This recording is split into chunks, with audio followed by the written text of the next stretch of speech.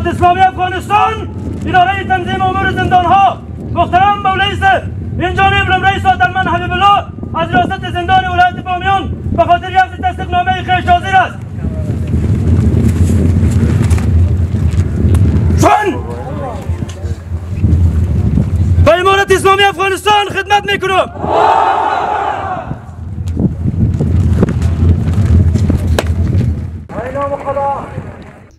تعدادشان 61 نفر هستند که تعداد 40 نفرشان من اپراسیون و شبای مختلف است دیگه افسر سترمان است که افسر است که بخش های مختلف در سایه موزی را دیدن دوره سه ماه را سپری کردن که یا موزش دیدن درس های مختلف لکچر های مختلف لایحه وظایف کشوشان بودن در سایه که در کمره محبوس چی رقمی رویه را میشه چی رقمی رفتار امرایشان میشه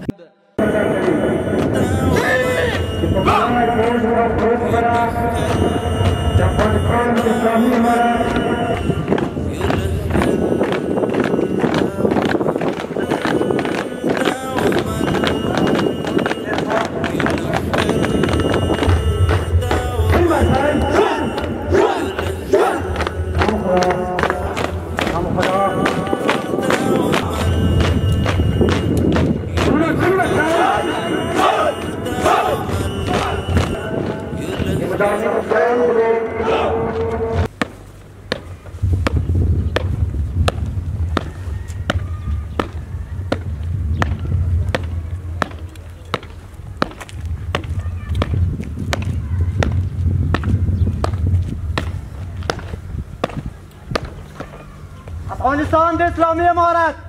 زندانونو چارو قدرمن رئیس جلالتمآب مولوی محمد یسوف مستری السلام علیکم ورحمت الله وبرکاته د زندانونو چارو د سمون ادارې افسران ساتنمنان سربازان په پلي نظام ترتیب او ستاسو د راتګ ویاړ لري د نظام بلندوی سمونمل فرهاد نظرخیل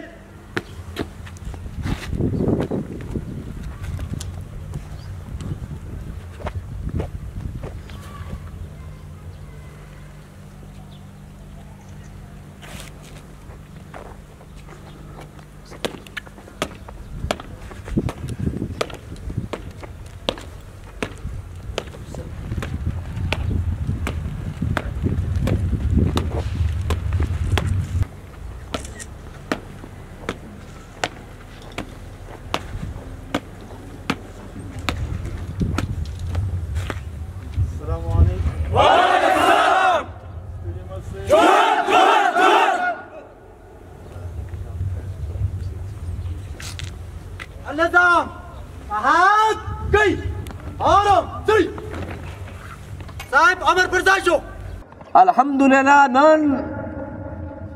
تاسو پر رسنۍ ګورئ چې د افغانستان د محابسونه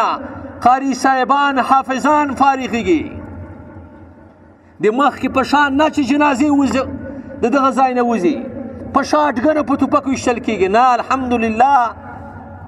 اوس په زندانونو کې ټول مدرسې سیستم مختلف مکتبونه دي کورسونه ورته دي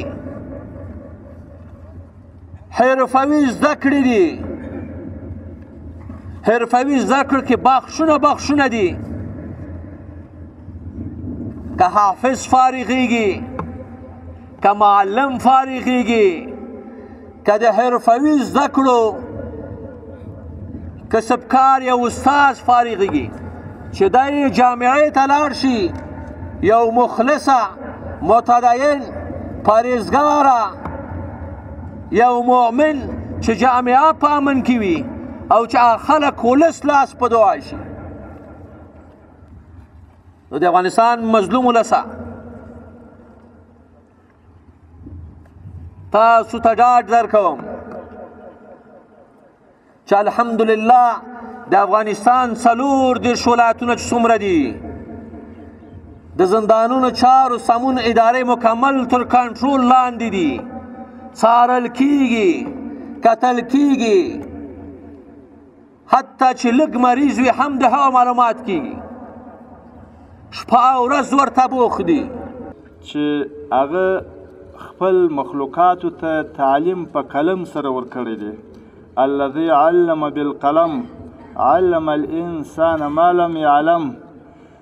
الله تعالی جل جلاله وایي چې ما خپل مخلوقاتو ته یعنی و انسان ته په قلم سره تعلیم ورکړی دی او د هغو شانو تعلیم مې ورکړی دی چې تر اوسه پورې ده د هغه علم نه درلودی دا کوم ولاړ پرسونل چې دی عسکر د محابسو چې دی په دې دوې درې میاشتې کې دوی هغه شان زده کړل لله الحمد چې دوی ته تر اوسه د هغه شان علم نه وو د علم ستاینه پروردګار جل جلاله خپل په کلام مبارک کې په اول آیات مبارک کې چې قران کریم نزول شروع سو ام دې ته مشته اشاره او صراحتن راته ویل اشاره لا هم نه و دا کم پرسونل چې دلته موږ راغواړو عسکر راغواړو دوی ته تعلیم او تعلم ورکوو هم د دې وجې څخه چې هغه شان دوی ته ورښیو چې دوی ته د هغه علم تر اوسه پورې نه وو په محابسو کې تاسې په مختلفو ځایو کې وظایف لري بعضې نظامی کسان یا مثلا د ادارې په اداري کارو کې تاسې ته د هغه وظیفې در سپارل سوي دي در د غاړې سوي دي خو بعضې شان ستاسې تر اوسه پورې یاد نه وه کېدای شي اوس په دغه تعلیمي دوره کې تاسې هغه شان د ځانه سره یاداشت کړي او پر هغه شان مو علم راغلی چې تر اوسه تاسې ته علم نه وو بل خبره چې پیغمبر علیه الصلاۃ والسلام مبارک وایي چې خیر الناس من ينفع الناس خیر د خلکو هغه دی چې نور خلکو ته نه پرسي دا په تعلیم کې چې کوم استادانو ته استنه پر رسول د دوی خیر دی تاسو چې بیا و نور خپل پرسونلو ما تحت ملګرو ته نه پر رسوي تاسو هم خیر یاست هر کس هر عسكر هر افسر هر ملګری مجاهد باید د خپل علم څخه کار واخی او خپل علم په کار واچي و نور مسلمانانو انسانانو ته زده کړه کی او خپل پر ځان عملی کی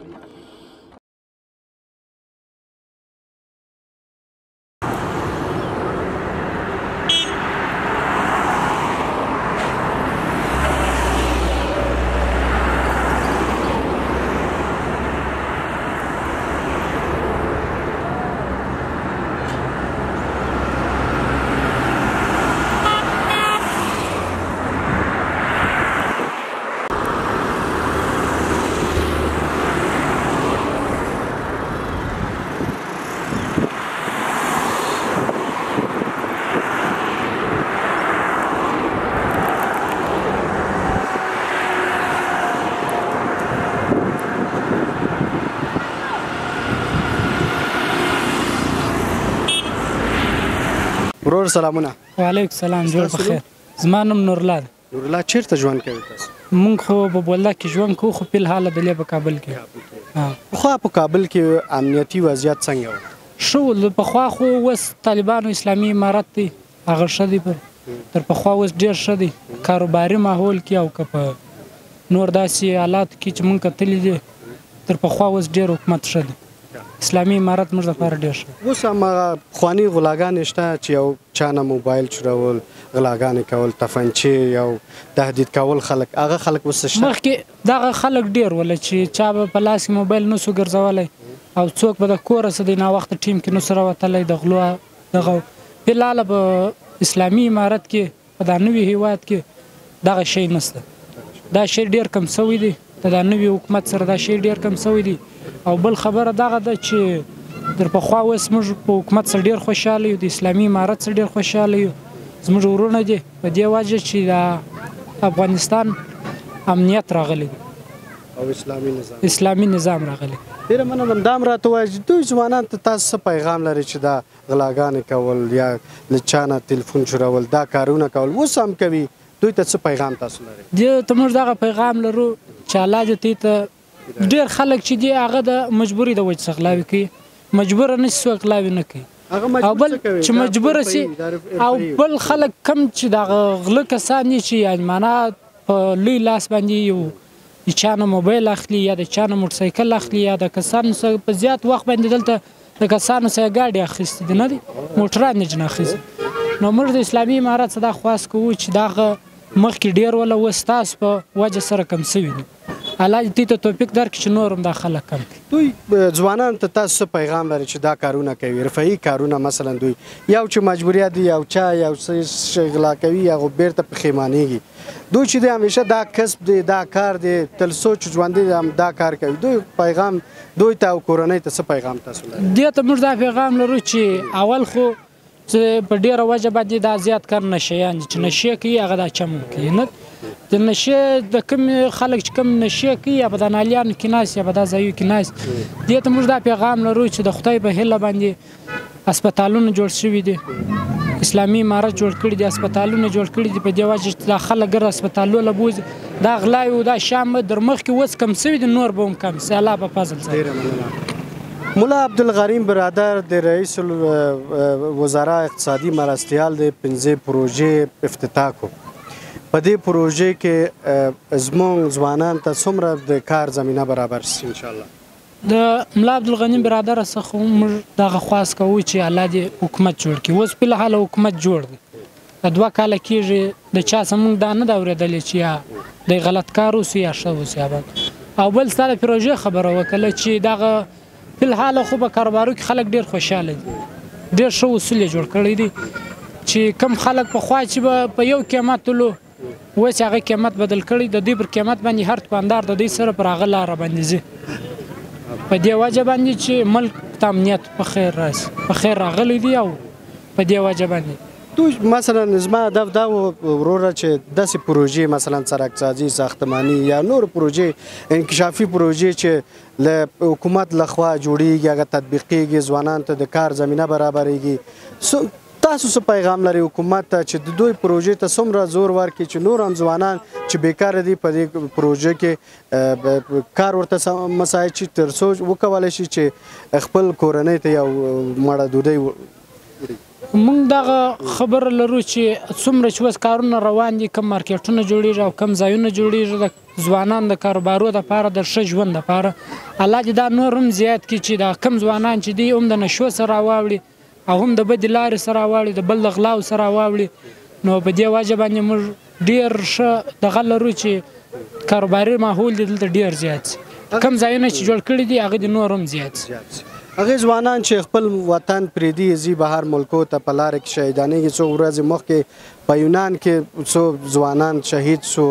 په سندونو کې غرق شو هغه کورنۍ ته هغه ځوانان چې خپل ملک پریدي زی څه پیغام تاسو ورته لرئ؟ هغو ته خو اول دغه پیغام لرو چې کورنیانو ته دې خدای د زړه صبر ورکړي او بل دغه پیغام لرو چې په افغانستان کې کار او کتار لیک او کاروبار برابر شي خلک بیا د بل ملک توهین نه کوي چې بل ملک ته سفر وکړي اصل کې خبره دغه ده چې موږ په افغانستان کې په حال کار